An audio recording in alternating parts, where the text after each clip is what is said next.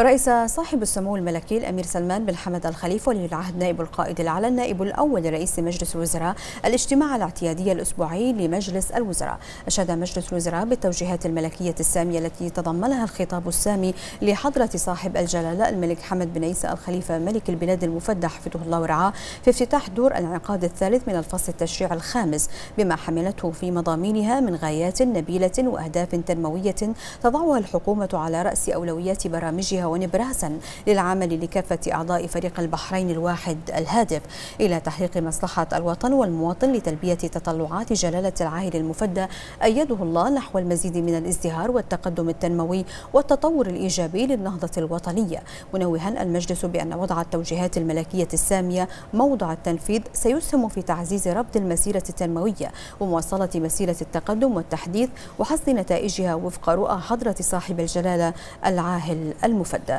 ثم رحب مجلس الوزراء بالقرار الصادر من مجلس وزراء المملكة العربية السعودية برئاسة خادم الحرمين الشريفين الملك سلمان بن عبد العزيز آل سعود بالتباحث مع الجانب البحريني لرفع مستوى رئاسة مجلس التنسيق المشترك إلى أولياء العهود بالبلدين الشقيقين حيث أشاد مجلس الوزراء بهذه الخطوة التي تجسد حرص القيادتين والبلدين الشقيقين على تنامي العلاقات الثنائية وتعزيز الشراكة الاستراتيجية والتكامل على كافة الأصعدة لتحقيق تطلعات شعبيهما. المشتركة. بعدها أعرب مجلس الوزراء عن بالغ تمنياته لسمو الشيخ مشعل الأحمد الجابر الصباح بمناسبة تزكيته وليا للعهد من قبل صاحب السمو الشيخ نواف الجابر الأحمد الصباح أمير دولة الكويت الشقيقة. متمنيا المجلس لسمو ولي عهد دولة الكويت الشقيقة التوفيق في خدمة وطنه وتحقيق ما يتطلع إليه الشعب الكويتي الشقيق في ظل القيادة الحكيمة لسمو أمير دولة الكويت. بعد ذلك عبر مجلس الوزراء عن تمنياته بالالتزام بقرار وقف إطلاق النار بين جمهورية أذربيجان وجمهورية أرمينيا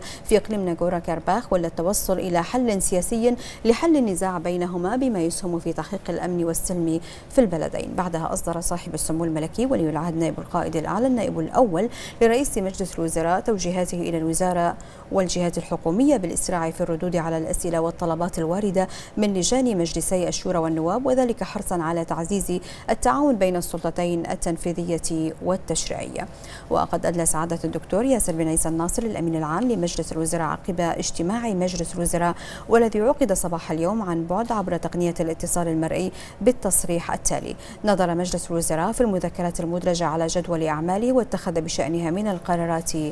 ما يلي.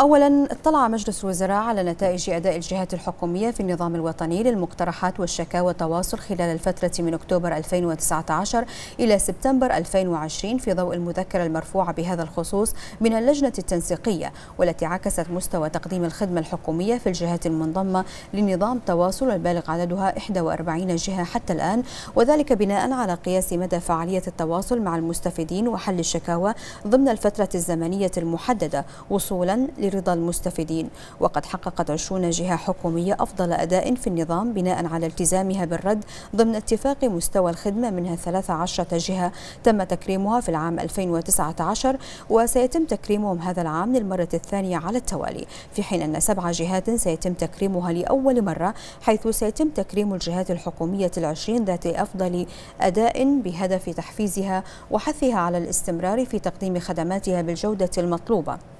وتشجيع كافة الجهات الحكومية على تقديم خدمات أفضل بجودة أعلى لما له من دور رئيسي في تعزيز كفاءة العمل الحكومي والارتقاء بالخدمات الحكومية المقدمة للمواطنين والمقيمين على حد سواء. سعيا لتحقيق أعلى معدلات الرضا وقد حث صاحب السمو الملكي ولي العهد نائب القائد الأعلى النائب الأول لرئيس مجلس الوزراء على أهمية متابعة الجهات الحكومية لشكاوى المواطنين والعمل على حلها بسرعة وجودة عالية لتحقيق رضا المتعاملين مع هذه الجهات الحكومية. كما وجه سموه إلى إدخال المزيد من المبادرات التي تطور من نظام تواصل بشكل يتيح تقييم جودة الرد وسرعته والتوسع في التعامل مع الاقتراحات المقدمة من المتعاملين.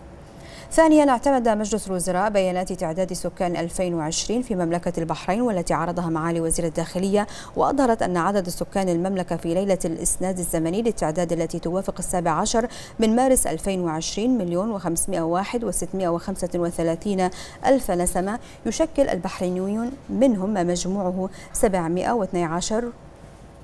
و662 ألف نسمة بنسبة 47 بالفاصل 4% بينما بلغ عدد غير البحرينيين 789 و273 ألف نسمة بنسبة 52.6% ثالثا وافق مجلس الوزراء على الخطة الوطنية الخامسة للاتصالات وعلى مشروع قرار باعتمادها وتحدد الخطة الوطنية للاتصالات استراتيجية الحكومة وسياساتها العامة بشأن قطاع الاتصالات خلال السنوات الثلاث المقبلة ومن أهم ما تهدف إليه الخطة هو استكمال تطوير الشبكة الوطنية للنطاق العريض بحيث تمتد تغطيتها لجميع المساكن والمؤسسات بأسعار عادلة ومعقولة. وتحقيق المساواة الكاملة بشأن تقديم الخدمات وتعزيز دور شركة بينت في تطوير البنية التحتية الوطنية للألياف البصرية. كما تهدف الخطة إلى تعزيز المنافسة في قطاع الاتصالات المتنقلة والطيف الترددي والجيل الخامس وتوفير الربط الدولي من وإلى البحرين وذلك بهدف تطوير الاقتصاد الرقمي في المملكة. رابعا وافق مجلس الوزراء على إعادة تسمية أربعة مناطق صناعية من أصل سبعة تابعة لوزارة الصناعة والتجارة والسياحة وذلك بعد دمج بعضها ومنها إعادة تسمية منطقة شمال سترة الصناعية إلى منطقة سترة الصناعية وإعادة تسمية منطقة شمال المصفاة الصناعية بعد ضم منطقة شمال المصفاة الصناعية إلى منطقة المعامير الصناعية. والثالثة إعادة تسمية منطقة جنوب ألبا الصناعية ليصبح اسمها منطقة المزرع. والرابعة إعادة تسمية منطقة دوار سترة الصناعية ليصبح اسمها الجديد منطقة الحسي الصناعية. في حين تبقى المناطق الصناعية الثلاث الأخرى التابعة للوزارة على نفس مسمياتها وهي مدينة سلمان الصناعية ومنطقة ميناء سلمان الصناعية ومنطقة حفيرة الصناعية وذلك في ضوء المذكرة المرفوعة لهذا الغرض من سعادة وزير الصناعة والتجارة والسياحة خامسا استعرض مجلس الوزراء النتائج الجيدة التي حققتها هيئة الكهرباء والماء فيما يختص بأداء وكفاءة قطاعات الإنتاج والنقل والتوزيع للكهرباء والماء خلال فصل صيف 2020 والذي كان استثنائيا بسبب ظروف جائحة فيروس كورونا وذلك من خلال المذكرة المرفوعة لهذا الغرض من سعادة وزير شؤون الكهرباء والماء والتي تناولت أيضا الإجراءات والاستعدادات التي اتخذتها الهيئة لترشيد استخدام الكهرباء والماء وخططها في هذا المجال بما اتخذته من خطوات احترازية لمواجهة الجائحة واستمرارية العمل بالإضافة إلى مشاريع الكهرباء والماء ومستجداتها والتي تسهم في زيادة اعتمادية الشبكة ورفع الطاقة الاستيعابية وضمان رفض المشاريع التنموية بالطاقة وتكفل تأمين الاحتياجات للمشاريع التنموية المستقبلية في مملكة البحرين علاوة على تطوير وزيادة الخدمات الخدمات الإلكترونية حيث أثنى المجلس على الجهود التطويرية لهيئة الكهرباء والماء في قطاعات الإنتاج والتوزيع والنقل والتي أسهمت في تلبية الاحتياجات المتنامية من الكهرباء والماء وخفض معدلات انقطاع الكهرباء والماء إلى حدود منخفضة. سادسا وافق مجلس الوزراء على انضمام مملكة البحرين إلى بروتوكول ناغوايا بشأن الحصول على المواد الجينية والتقاسم العادل والمنصف للمنافع الناشئة على استخدامها والملحق باتفاقية التنوع البيولوجي وبهدف أو يهدف البروتوكول إلى تنظيم عملية الحصول على الموارد الجينية المتعلقة بالتنوع البيولوجي النباتي والحيواني بين الجهة المقدمة لهذه الموارد والجهة التي تقوم بالحصول على هذه الموارد لاستخدامها. سابعا وافق مجلس الوزراء على انضمام من مملكة البحرين إلى اتفاقية ميناماتا بشأن الزئبق وتهدف الاتفاقية إلى حماية صحة الإنسان وبيئته من الانبعاثات البشرية ومن انطلاقات الزئبق ومركباته وتضع ضوابط على استخداماته والمبادرات لخفضه في عدة تطبيقات.